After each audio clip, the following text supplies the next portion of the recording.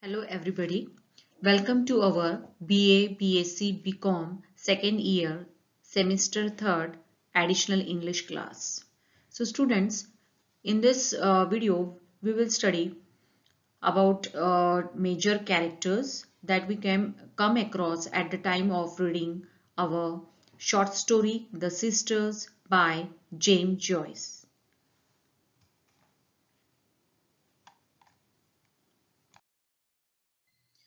So let us have a look on this slide. So uh, in this slide you will find all the important characters of uh, our short story The Sister by James Joyce. So first uh, major character is here the boy, narrator. Second, James Flynn, former priest. Third one, Eliza Flynn, sister of James Flynn. Fourth, Nannie Flynn, sister of James Flynn. Old Cotter, aunt of the boy and the last one uncle of the boy. So uh, these are all the characters. Please student if you have register with you please note down all the characters in your register. And one by one we will discuss all the characters in detail. So let's begin. The first character the boy narrator. See the first point. The sisters gives a portrait of relationship between a nameless boy and the infirm priest Father Flynn. So uh, the unnamed character who looks back on his boyhood while narrating the sisters is a figure of central importance to Dubliners as a whole. The story unnamed narrator and protagonist who is a young boy so in this, uh, our main character, the boy, is a, not only protagonist of this whole story, but uh, on the other side, we come to know uh, we don't or uh, we uh, don't have given any type of information about uh, his name, but we come to know that the story, the story's unnamed narrator and protagonist who is a young boy. in the sisters and in the rest of the stories in Dubliners, strange and puzzling, puzzling events occur that remain unexplained. Father Flynn suffers from paralyzing strokes and eventually dies. And uh, next thing again we come to know that in the uh, confessional box, uh, he looks uh, like laughing frenzy and uh, also hints that he was a mentally unstable. The reader never learns exactly what was wrong with him. Similarly, Father Flynn and the young narrator had a relationship that old Cotter thinks was unhealthy, but the narrator pens as a spiritual when he recounts the discussion he and Father Flynn had about uh, about uh, church rituals. However, the narrator also has a strange dreams about Father Flynn's and admits to feeling uncomfortable around him. Joyce, Joyce presents such enough information so that the reader suspects Father Flynn is a malevolent figure, but never enough so that the reader knows the full story. Next point is, third point, the boy thinks of word paralysis. Why he thinks like that? Because such a technique is hinted at in the first paragraph of the story The Sisters by James Joyce and the narrator thinks of the word paralysis when looking at the Father Flynn's widow window and says that the word strange like the word gnomon, a term that generally refers to the instruments like the hand on the sundial that indicates something and Joyce does exactly that. He points to detail and suggestion but never completes the puzzle. The next point, the last point, the story starts with the boy contemplating Father Flynn's illness and impending, death. So this is also thing, the physical or he points to the detailed suggestion but never completes the puzzle. The physical presence of Father Flynn lingers throughout the story, coloring the narrator's experience of dealing with death in life and showing how a death interrupts normal human activities and Father Flynn plays a fleshly role in this story. So students, so see the next point here. The narrator has a close relationship with Father Flynn, a local priest. Father Flynn is a local priest in this story and who is on the brink of death at the beginning of this story.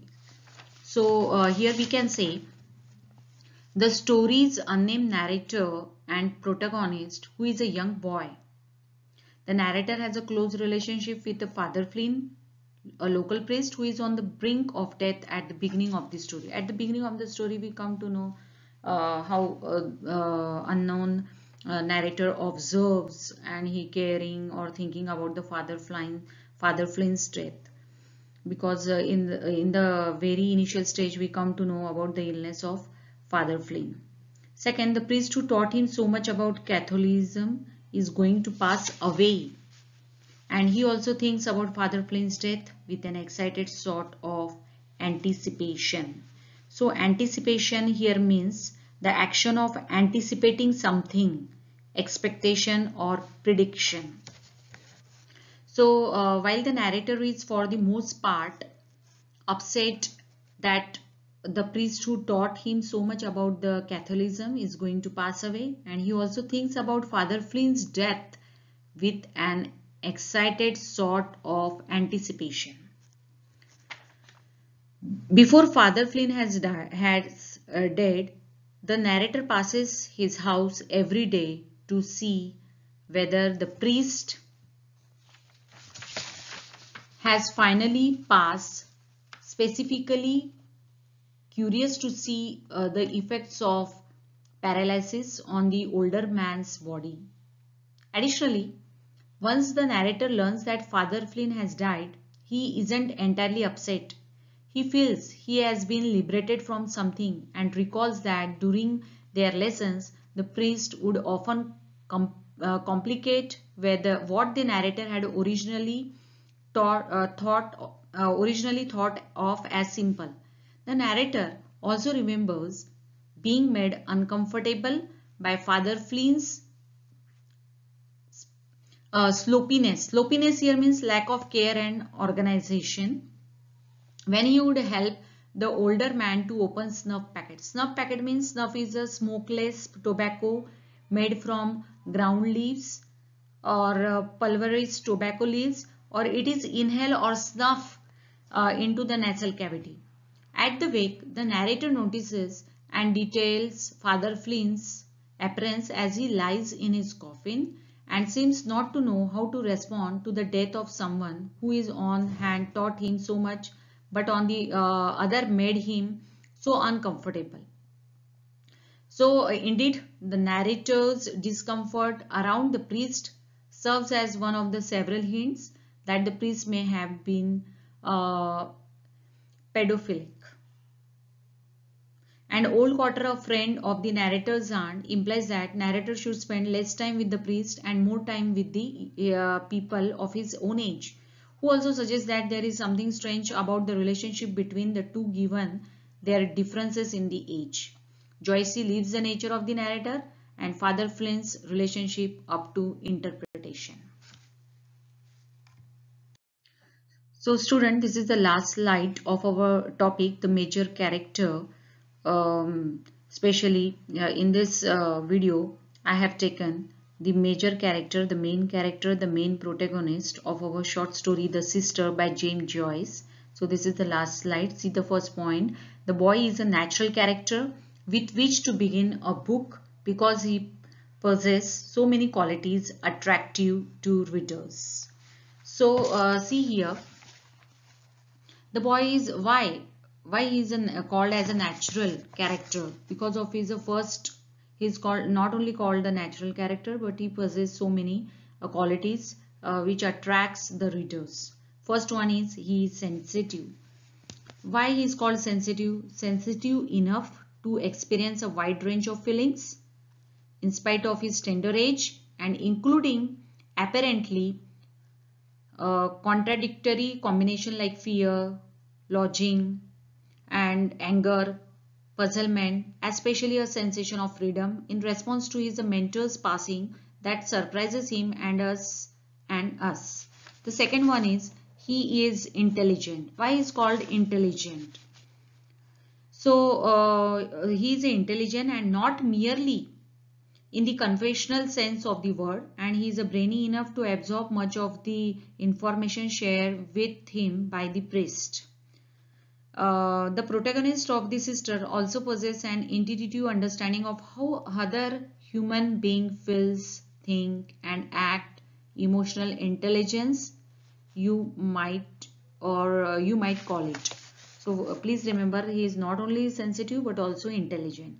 Next is he appears to lack altogether a connection with his uncle, much less old Cotter and it is said that he rarely plays with young lads of his own age म्हणजे थोडक्यात तुम्हाला सांगायचं म्हणजे तो आपल्या वयाच्या मुलांसोबत न खेळता तो वयस्कर असलेले फादर फ्लिन त्यांच्या सोबतच राहायचा आणि त्यांचीच कंपनी त्यांना आवडायची आणि जे ओल्ड क्वार्टरला खटकत होतं. आणि ही हे हे जे त्याला ओल्ड क्वार्टरला जी ही माहिती होती की हा लहान मुलांसोबत खेळत नाही आणि फादर प्रीस सोबतच राहतो तर ही सगळी चर्चा त्यांनी या अननोन बॉय या कवितेमधला जो कॅरेक्टर आहे महत्वाचा त्याच्या अंकल आणि आंटला सुद्धा सांगितलेलं next one is Uh, see the last one. He has an independent spirit and a desire to discover the true nature of the things that cause him to search beyond the boundaries of conviction.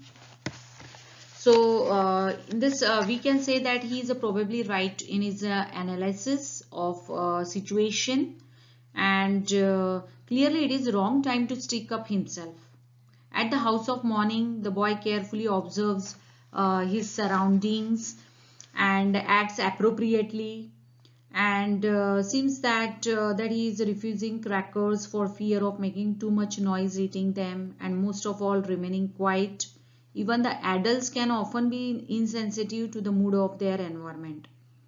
The boy however always interprets the emotional tone of his surroundings correctly so it is not so surprising that boy is so sensitive intelligent and would find himself somewhat alienated from others, cut off fundamentally, fundamentally from his family and peers.